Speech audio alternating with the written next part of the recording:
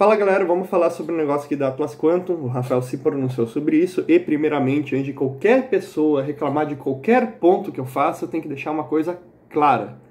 Eu parabenizo o Rafael pela posição que ele está tomando. Sim, isso não é sarcasmo. Por quê? Porque ele fez uma mudança qualitativa da postura dele. Antes ele nunca falava do assunto, agora ele começou a falar. O ponto que eu quero deixar claro é, é o seguinte: ainda haverá uma certa cobrança.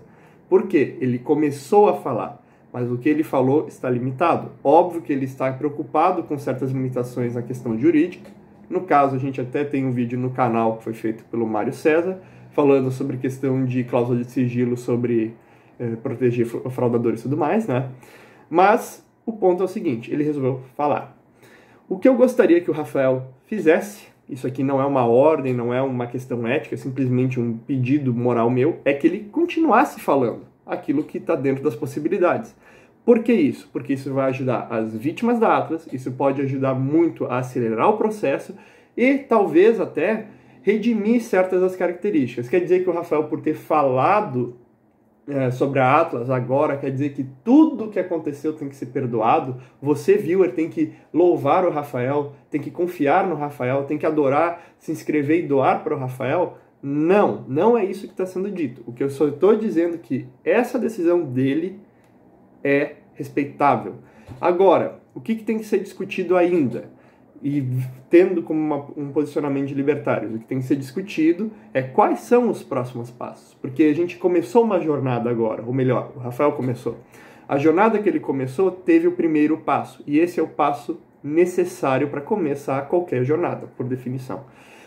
Então, por análise, qual que é a cada momento, marginalmente, o passo mais importante? É sempre o próximo, até o último, né? Então, o que acontece? O próximo passo eu vejo que é essencial que seja cogitado. O próximo passo é o quê? Falar sobre isso, testemunhar, ir atrás, ver quem foi lesado. Existem mais de 500 processos rodando contra a Atlas. Então, ele poder ajudar as pessoas que estão nesses 500 processos, se não me engano, vários são lides consórcio, são simplesmente aglutinados em um só, né? Um, ele poderia ajudar muita gente.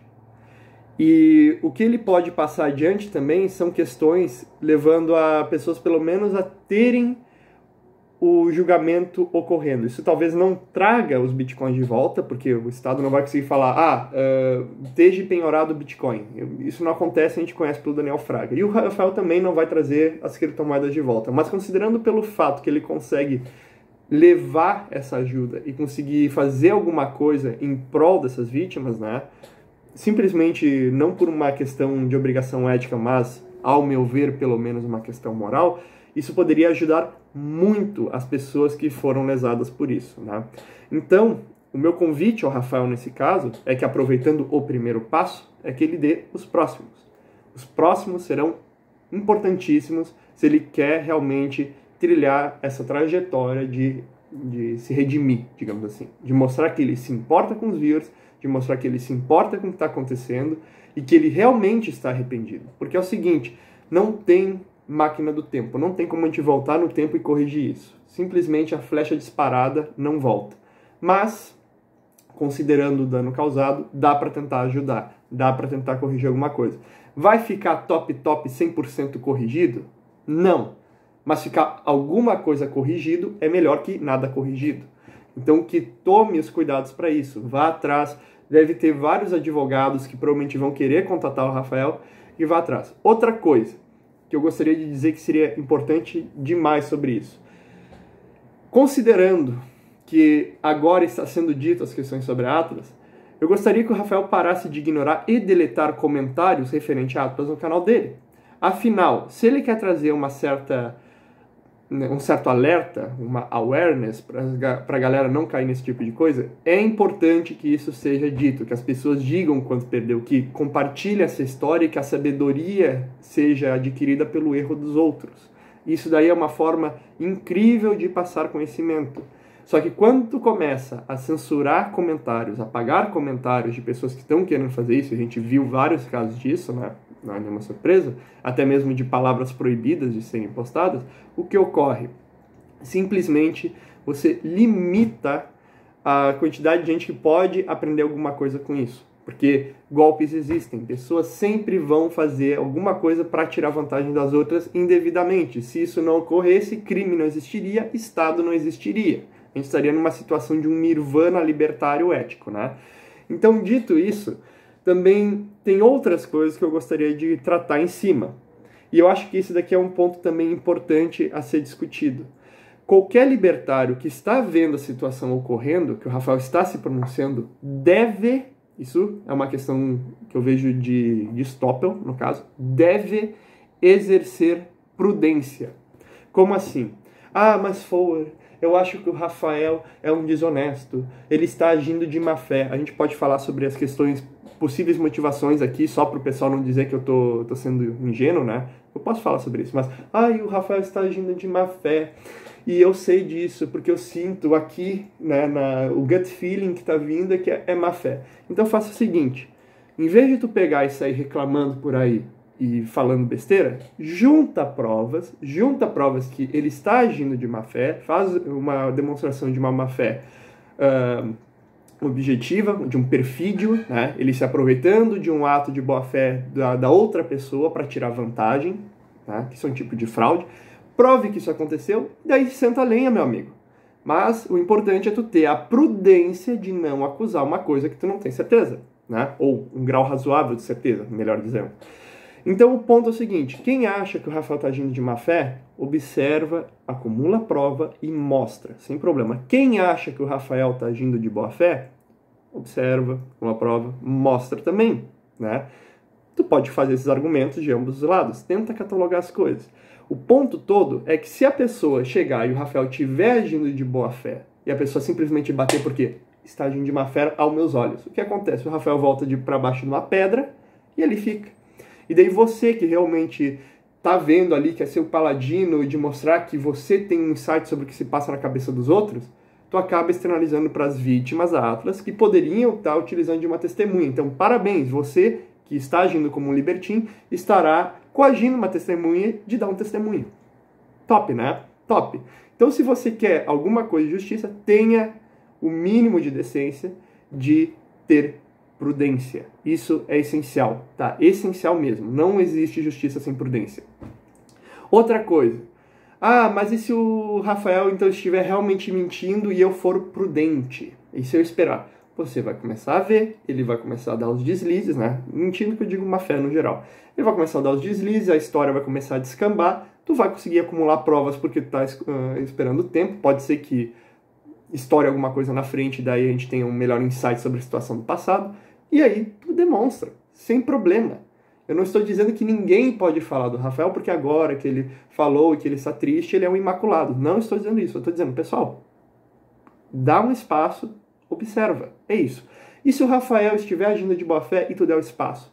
Ele vai começar a falar, vai começar a expor coisas, vai começar a ajudar as vítimas e no final melhora.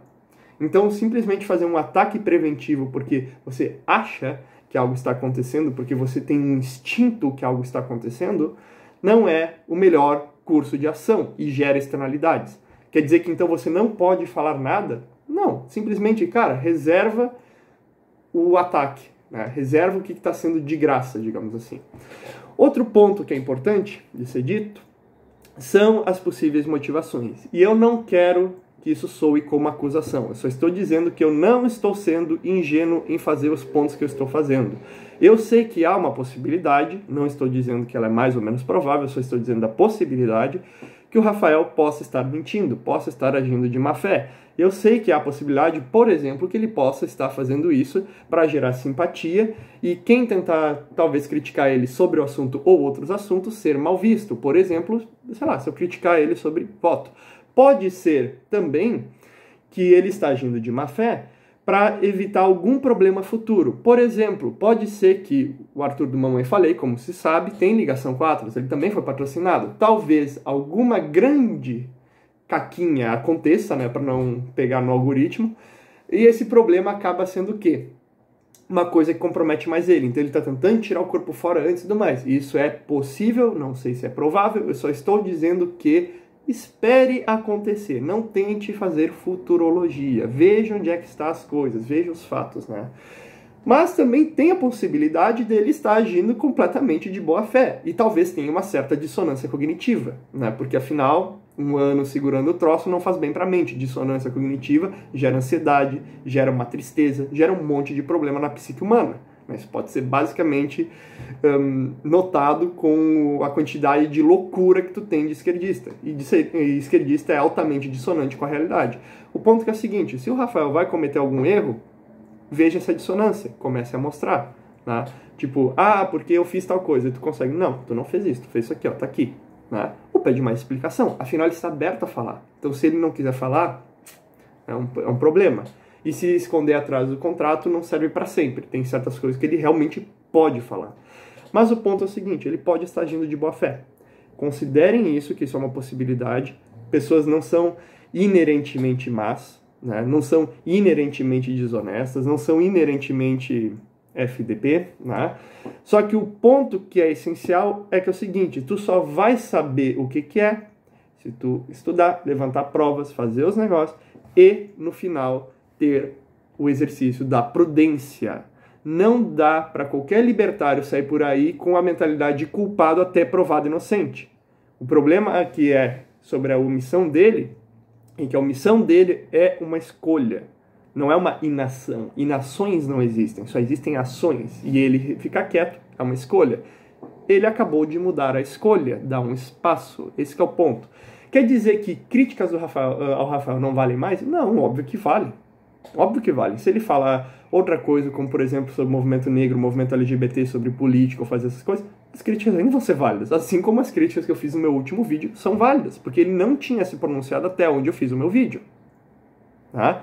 Argumentos que estão ligados a condições temporais não mudam porque as condições mudaram. Né? Se está naquelas condições, lida com aquelas condições. O ponto todo que tem que ser considerado e não pode ser ignorado é que é o seguinte: nós estamos no momento de mudança sobre a posição dele. E essa mudança, ao meu ver, dependendo das motivações, como eu disse, existem várias possibilidades, né? podem ser mudanças muito bem-vindas, que vão ajudar as vítimas. Então, ao meu ver, é essencial que o pessoal libertário tenha o um mínimo de, digamos assim, não seria tolerância, mas calma a tentar sair refutando tudo, né? Afinal, ele pode falar alguma coisa útil. E óbvio que se ele tentar utilizar essa sensação de não, o Rafael está mudado, o Rafael está se reformando, não sei o quê, e ele usar isso daí para tentar tirar uma vantagem, que é uma prática de perfídio, simplesmente isso só demonstra cada vez mais o caráter dele. Então, vamos fazer o seguinte: se prepara para o pior e espera pelo melhor. Né? Se prepara pela possibilidade, não a que seja provável, só que é possível, que isso pode ser simplesmente da boca para fora, temos que estar preparado para isso, mas espera pelo menos o cara falar, o cara se posicionar. Vai que seja uma coisa boa, né? vai que ele realmente queira se redimir, vai que ele queira realmente, queira realmente ajudar. E como tu vai fazer isso? Tu vai pegar uma bola de cristal, ou no meu caso uma bola de plasma, passar a mão, prever o que, que ele está vendo, ou tipo, não, o Rafael ele está sentindo isso aqui. Tu teria que usar cristais, eu acho que no esoterismo seria cristais. Aquele ele muda de cor ou coisa do gênero, sei lá, aquelas pedras que ficam no anel. Mas tu vai fazer isso daí, um esoterismo desgraçado, um ocultismo para tentar saber o que está acontecendo, ou tu vai esperar e deixar que as ações dele falem mais do que as palavras que ele tem. Então, eu acho que por esse vídeo é isso. Eu poderia tratar sobre mais coisas, mais detalhes, só que não é necessário, né? Esse é o ponto. Então, se preparem para o pior, esperem pelo melhor, né? Ou simplesmente tenham um exercício de prudência. E caso alguém queira reclamar, esse vídeo é basicamente o mesmo tom, a mesma ideia que eu passei sobre a questão do Paulo Cogos.